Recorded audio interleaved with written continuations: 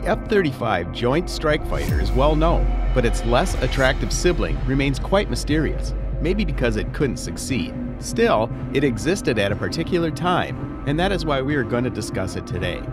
Let's see the Boeing F 32, which once upon a time was thought to be the way forward for the USAF. The Boeing F 32, Boeing's participation in the JSF program, was an attempt to secure the largest military contract in American aviation history. But before we see how it did all turn out for the company, the history of the Boeing X 32 fighter jet is a great way to get off to a soaring start. With the dawn of a new era came the Joint Strike Fighter, or just JSF for short. It acted as a follow up to the Advanced Tactical Fighter, or ATF program, which ultimately led to the development of the F 22. Since the A 12 adventure and the NATF programs were canceled, the JSF concept was to develop a new multi purpose fighter for both the Navy and the Air Force. The A 10, F 16, FA 18, AV 8 Harrier, and the F 117 were all slated to be retired in favor of this new JSF plane. Among the typical suspects in this extremely audacious attempt to create the final fighter jet the United States would ever require, the big four aircraft manufacturers, Lockheed, Boeing, Northrop, and McDonnell Douglas, submitted an application. In the end, the Joint Strike Fighter program decided to accept entries from two different businesses, Boeing and Lockheed Martin.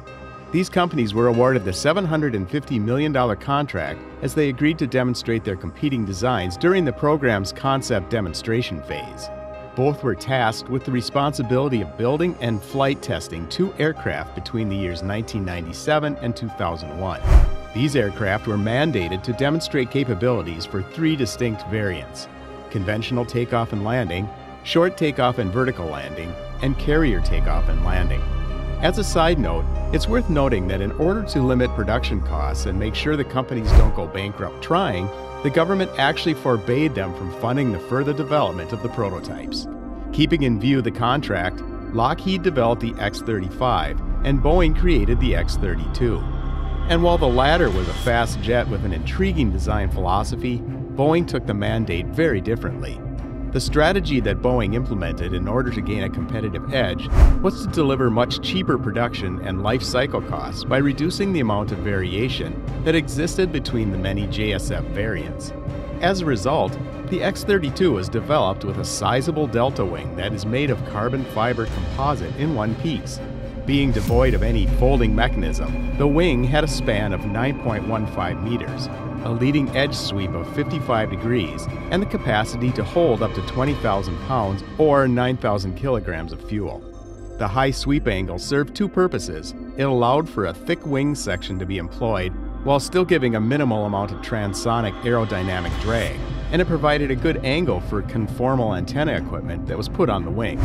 Both of these purposes were accomplished. In the end, the X 32's wings were only slightly larger than the Hornet's with its wings folded. A thrust vectoring nozzle was used in place of the lift fan like the one on an X-35 for its short takeoff and vertical landing variant. This design followed the same principles as the Harrier jump jet, but the lift fan and foldable nozzle that the X-35 and F-35 use now were more difficult to implement back then. However, once implemented, it proved to be very beneficial. Given that the X-32 lacked a lift fan, it acquired a sizable amount of air intake at its front for hovering. It was a problem for the aircraft's stealth performance as the opening smile would leave the compressor blades exposed. The solution to this was what Russian Su 57 incorporated radar wave blockers. These blockers in the intake would have counteracted this issue, but sadly, such technology wasn't available back then. The engine, unlike the X 35 and pretty much every other fighter, was mounted slightly forward. This shifted the center of gravity, and the bulky and weird design was the only solution to keep the aircraft stable during hovering and flight. There is no obvious benefit to the design except space. A maximum of six AMRAAM missiles, or a mixture of AMRAAMs and Sidewinders, may be stored in the jet's armaments bay. Despite its odd appearance, the concept made sense.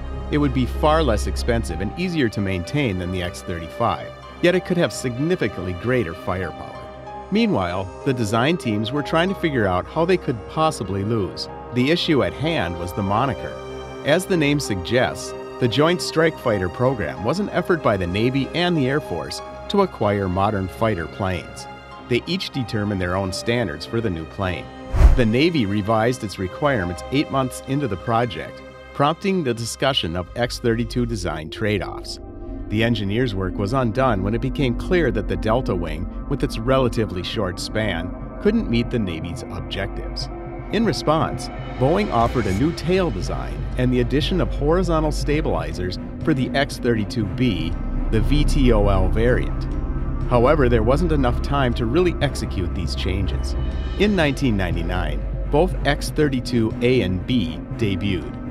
However, the successful maiden voyage of the X 32A was in 2000. Pratt & Whitney YF-119 engines propelled both these planes. This is the same motor that drives the YF-22 and the YF-23 as well.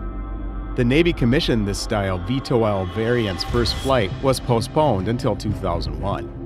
Although its flight performance was adequate, with even the Chase F-18 Hornet not being able to keep up with the jet, the X-35 ultimately proved to be superior. The F-32 had an overheating issue due to its intake sucking in hot air from the front rather than cold air from above. This posed problems during hovering and landing. Ultimately, the Boeing X-32 lost the race to the X-35, despite the fact that both aircraft well exceeded the program's expectations.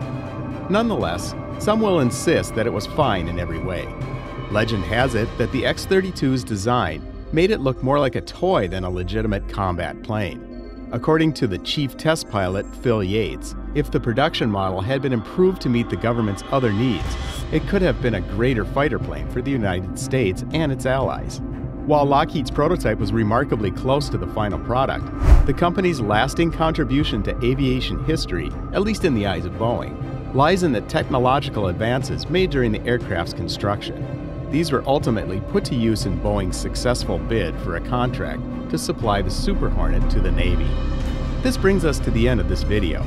If you like the video, please consider subscribing and sharing so we can keep bringing you more content like this. Also, let us know your thoughts in the comments below. See you next time.